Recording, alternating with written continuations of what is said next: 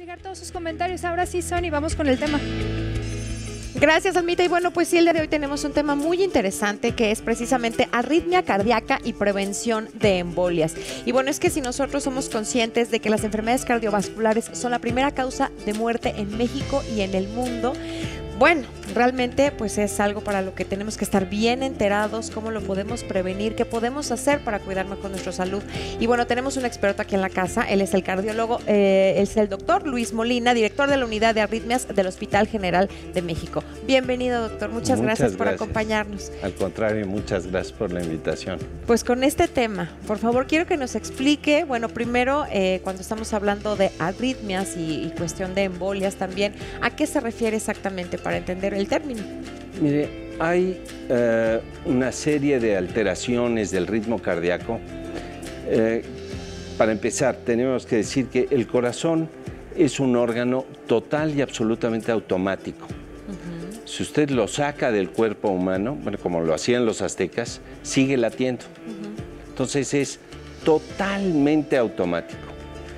Y este automatismo y estas características tan peculiares del corazón hacen que sea susceptible de generar algunos trastornos eléctricos. Y los trastornos eléctricos son esto, las arritmias cardíacas. Y las arritmias cardíacas tienen eh, importancia en más de un aspecto. Primero, en la repercusión que puede tener sobre el corazón. Pueden producir insuficiencia cardíaca y la insuficiencia cardíaca, hombre, es algo que no espanta a mucha gente. Si a alguien le dicen, mire, usted padece insuficiencia cardíaca, pues no le llega mucho. Pero la insuficiencia cardíaca es más letal que el cáncer. Wow. Entonces, eh, es mejor tener cáncer que insuficiencia cardíaca. Válgame Dios. Más o menos. Ajá. Entonces, entre toda una serie de arritmias, hay una que es eh, particularmente eh, seria, eh, maldita, que es la arritmia más Peligrosa. común, pero peligrosa en este sentido. Es la arritmia más común del mundo, la más fácil de diagnosticar. Basta con saberse tomar el pulso Ajá. y es la más difícil de tratar.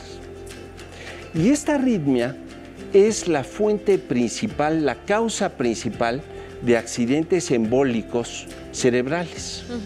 Entonces, cuando les digo a los pacientes que, hombre, si se mueren eh, no pasa nada, vamos, no pasa nada. No, pasa, de nada extrañarlos, ¿verdad? y, y nada más. El problema de no morirse y tener un accidente vascular cerebral es que es mucho peor que morirse. Claro, las condiciones en las que queda el paciente. Queda incomunicado, no puede hablar, no se basta por sí mismo. La familia, todo su entorno se altera de tal manera que hacen la vida verdaderamente miserable.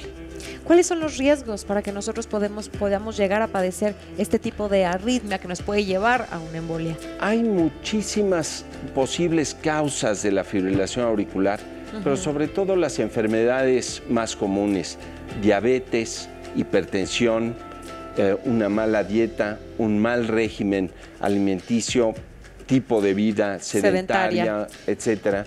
Esto es eh, antecedentes familiares, Claro. eh, todo esto sí pueden llevarnos a padecer esta fibrilación auricular.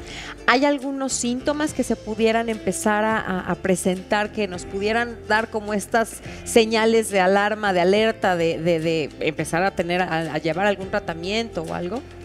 Sí, más que síntomas, yo quisiera orientar a la gente o exhortar a la gente que aprenda a tomarse el pulso, tan fácil como eso. Más que los síntomas, es aprender a, A sentirse el corazón. ¿Cómo lo debemos Entonces, hacer? Mire, atención, muchachos. Del lado del pulgar, en la muñeca, Ajá, puede ser cualquier, es mejor. cualquier brazo. Yo lo que recomiendo es que la mano izquierda tome sobre la mano derecha, porque así les queda para ver el reloj ah, ok. y contar los pulsos. Ok. Entonces, con tres dedos los pone del lado del pulgar, junto al tendón del pulgar, ahí se siente inmediatamente el pulso. No es bueno Ah, claro. tomarse el pulso en el cuello, porque tenemos una estructura en la arteria carótida que si se presiona, enlentece el corazón y puede ser peligroso. Ok, ok. ¿Y cuál sería la pulsación normal? O sea, o, o qué referencia Entre deberíamos de 60 tomar. y 100 latidos por minuto en reposo. 60 y 100, ok.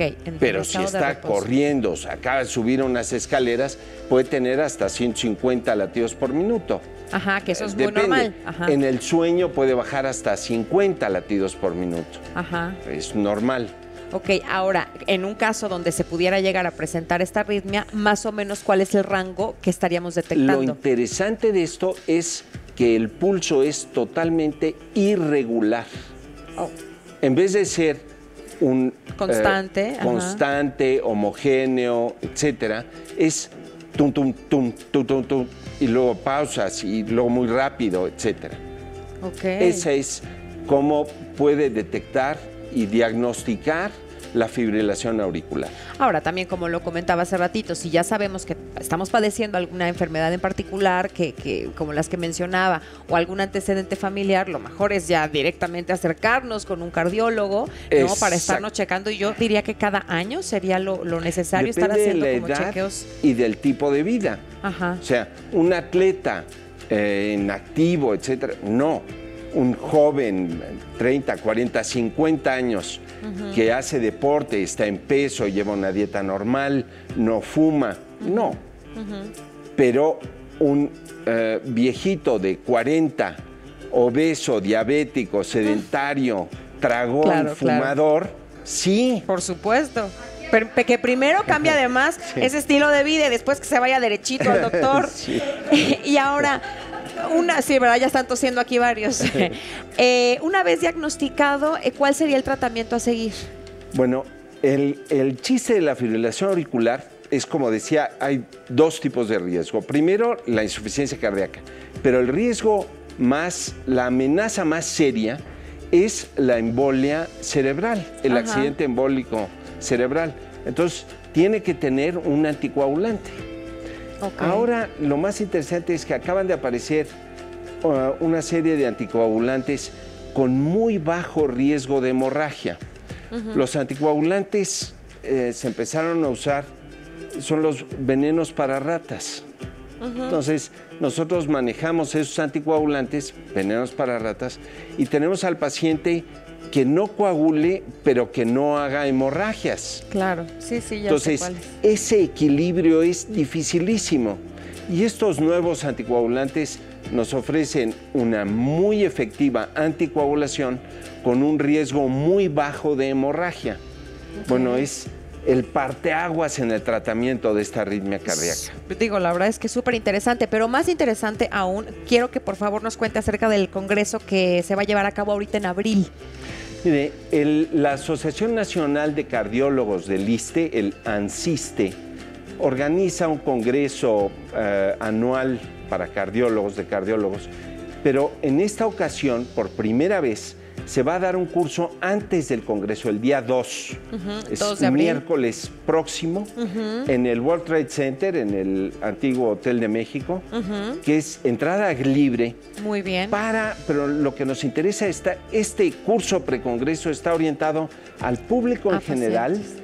eh, pacientes, eh, gente interesada, familiares de pacientes, todos están muy cordialmente invitados. ¿Alguna página rápidamente en internet donde la gente pudiera enterarse más? Www.arritmias.org.mx. arritmias.org.mx. Muchísimas gracias, Al doctor. Ahí estaremos muy pendientes. Hay que cuidar nuestra salud y mientras más pronto lo hagamos, mejor por nuestro bien y también el de nuestra familia. Vámonos del otro lado. Muchas gracias, doctor. Gracias.